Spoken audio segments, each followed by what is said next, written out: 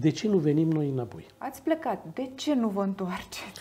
Deci, planurile noastre, deci eu am plecat cu familie și cu copil, între timp soția mea s-a întors în, în România, planurile noastre erau ca să ne facem studiile medicale, să luăm o echivalență de diplomă, să ne facem o mână, să ne facem o experiență occidentală și să venim înapoi. E, palma care am luat-o de la, din anii 96-97 cu colegii noștri unguri care s-au întors, deci eu am avut ocazia în, în 98 să mă duc la, la, la clinică la Budapesta și să-l văd pe Ișvan. Le, le, guvernul ungur le-a, le oferit tot, tot ce ne doream noi ca să ne întoarcem. Ei, deci noi așteptând anii 90 au trecut, 2000 au trecut. Stați puțin, la ce vă referiți când spuneți tot ce noi ne doream? Deci, adică e vorba doar de, de aspectul financiar? Nu e vorba de aspectul financiar, pentru că în anii 90 până în anii 2000, nici în România chirurgii nu câștigau foarte bine. Noi eram încă, până în anii 2000, erau încă rezidenți interni, studenți. Mm-hmm. Dar Ungaria, în 97, deci cu șapte ani înainte să intre în Comunitatea Europeană, a știut să deschidă aceste porți. S-au făcut de spitale, spitalele de stat de la Budapesta, sunt echivalente cu, cu spitalele private Regina Maria din București, ca dotare. Uh, nu i-a întrebat nimeni nimic ce au făcut cei 10 ani cât au lipsit din, uh, din uh, Ungaria, în timp ce, ce soția mea, de exemplu, care, se, care s-a întors înapoi în, în 97, ca să lucreze din nou ca medic generalist, a trebuit să dea niște examene și l-au întrebat, dar ce ați făcut în ultimii șapte ani de nație profesată în România? Deci asta este o paranteză. Deci ungurii le-au oferit condițiile de chirurgie a secolului 21, probabil condiții financiare, și s-au întors, tot s-au întors și sunt mulțumiți. Deci noi am așteptat în, anul, în anii 2000 să se întâmple același fenomen în România. Spitalele de stat, care astăzi multe din ele ar trebui uh, demolate și construite altfel, spitalele de stat, structura, casa de, casa de asigurări. de asigurări să ne primească cu brațele deschise. A fost o mișcare prin anii 2000, înainte de COVID, 2019-2020, când câțiva politicieni patrioți au zis le dăm casă, le oferim românii să vină înapoi. Ei, a fost valabilă pentru culegătorii de căpșuni din, din Spania sau pentru micii antreprenori din, din Italia, dar uh, porțile noastre, ale medicilor școliți 20 de ani în Occident, s-au închis cu, aceste, cu acest dosar cu șină. Deci problema este că în ziua de astăzi, salariile oferite de către statul român pentru un medic dintr-un spital de stat sunt la un nivel acceptabil. Dar problema ar fi birocrația și faptul că încă nu avem dotările necesare pentru, sau de... mă rog, dotările care să le da. permită să profeseze la un anumit nivel, să zicem. Deci primul obstacol rămâne uh, această echivalență de diplomă. în 2007... Deci nu sunt recunoscute nu. diplomele în continuare la noi? Nu. Deci în 2007 România a intrat în uh, Comunitatea Europeană. Și uh, în următoarele luni, în septembrie, uh, Directiva Europeană 36 din 2007 a, uh, scrie negru pe alb, în anumite specialități, în anumite meserii, echivalența de diplomă este automată, cu mici aranjamente în funcție de cunoașterea limbii sau... Mhm. Deci este valabilă pentru avocați, pentru toate profesiunile liberale. Adică un medic de-al nostru care merge în Franța, lui se recunoaște diploma. Deci recunoașterea în sensul România-Franța... Și invers nu? Deci recunoașterea între România și Franța, în acest sens, este, durează trei luni și este, se, se desfășoară numai la nivelul Colegiului Medicilor din uh, teritoriu. Okay. Uh, este cazi automată.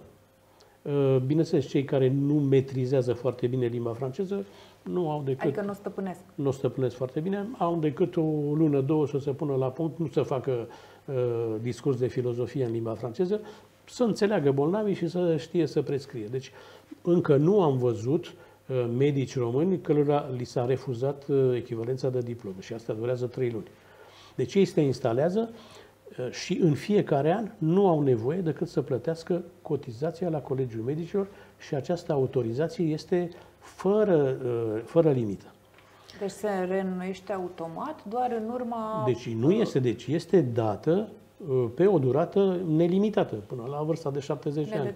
am înțeles. În sensul celălalt, există și acum această, uh, acest birou al rușinii, unde medicii și asistentele care au lucrat în toată Europa, plus în Elveția, care are convenții cu Comunitatea Europeană, stau la coadă cu un dosar cu șină dosar care are cel puțin 15 file, uh, traducere legalizată uh, în original cu documente valabile numai 3 luni.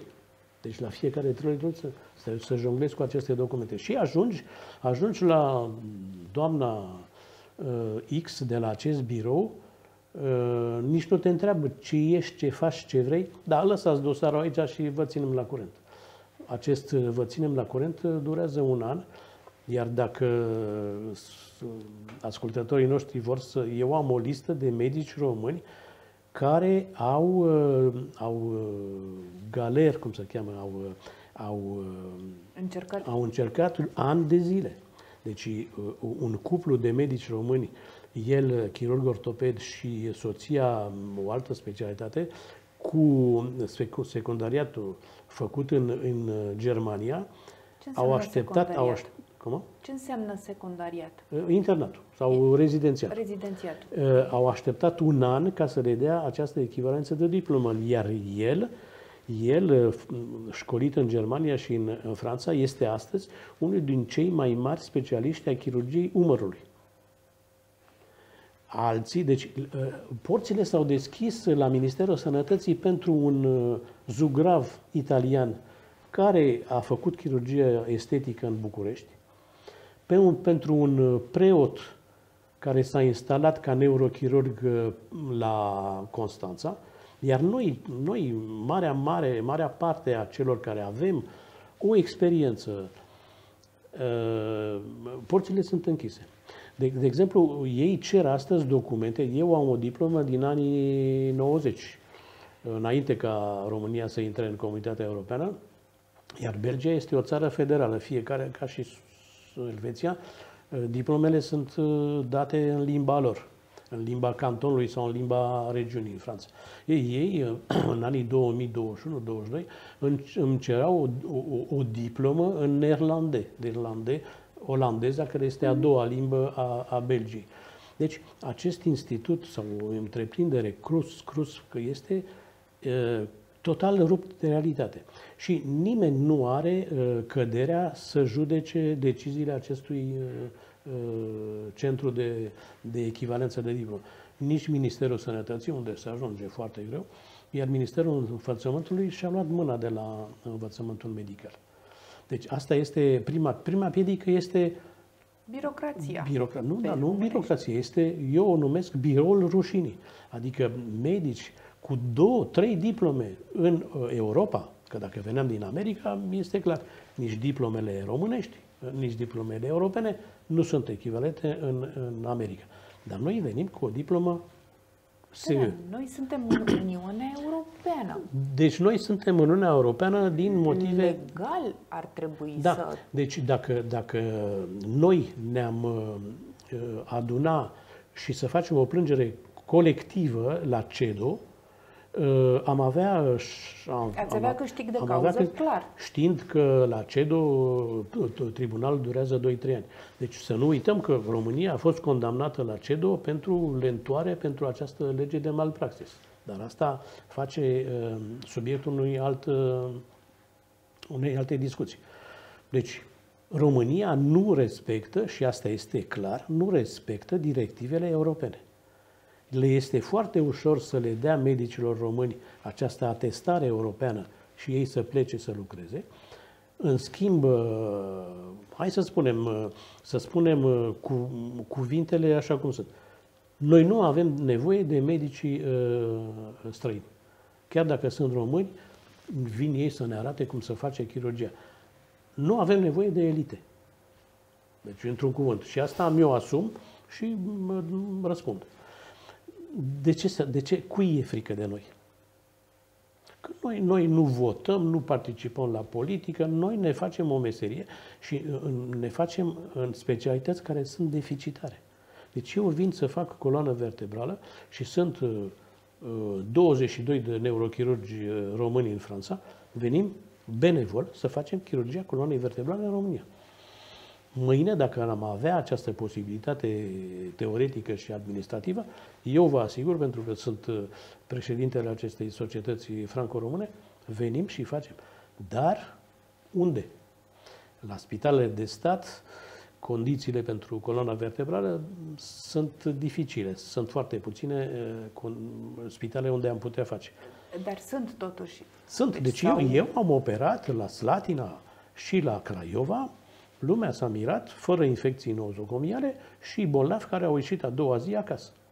Uh, șeful catedrei de ortopedie de la, de la Craiova este, este un uh, tânăr mult mai tânăr ca mine, care se zbate de ani de zile cu colegiul, cu ministerul, să facă la Craiova un departament de chirurgie vertebrală.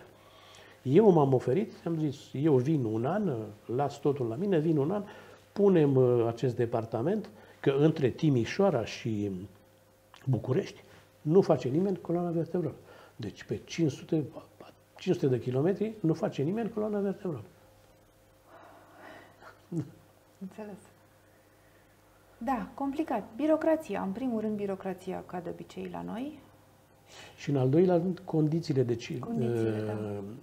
Chirurgia vertebrală, ca și chirurgia protetică ortopedică, are totuși nevoie de săli ISO 7, ISO 9, deci foarte sterile. Uh, instrumentele nu, nu vorbesc, dar uh, condițiile pentru chirurgia vertebrală astăzi nu sunt decât în două centre de stat, deci la la Spitalul Oblu de la Iași, care are o tradiție în chirurgia vertebrală de peste 20 de ani, dar este unul în România, probabil la Cluj și la Timișoara, dacă sunt condiții, iar celelalte instituții, deci clinicile private din România, cu dotările care le au, pot să facă chirurgia vertebrală la orice oră. Să ne amintim că, că polul de chirurgia cerebrală astăzi este unul singur în România. Deci la, la Monța se fac tot atâtea creiere, se operează tot atâtea creiere, cât în toată țara la un, la un loc. Cum, cum poate profesorul Stoica și cu cei 4-5 colaboratori să facă față la 18 milioane de, de locuitori? Doamne ferește că nu suntem toți cu nevoie. Nu, nu, nu. Deci, deci este vorba de raportul numărul da, de medici. Am înțeles, da. am înțeles.